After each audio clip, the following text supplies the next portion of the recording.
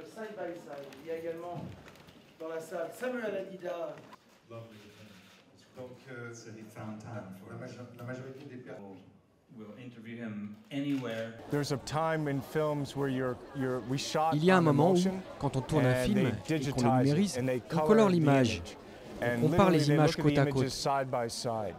And at this moment, um, for me personally, I was feeling À ce like moment-là, j'ai l'impression que la caméra numérique, la numérisation des films, pourrait signifier la disparition de la pellicule.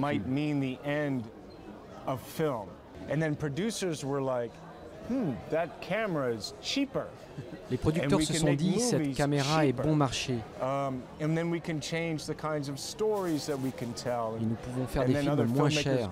Alors nous pouvons it. raconter des Um, histoires différentes. So it, it really came from Puis inside d'autres réalisateurs s'en sont emparés. street, C'est vraiment venu de um, l'intérieur d'Hollywood, and de la now rue. it's Aujourd'hui, c'est everywhere. partout.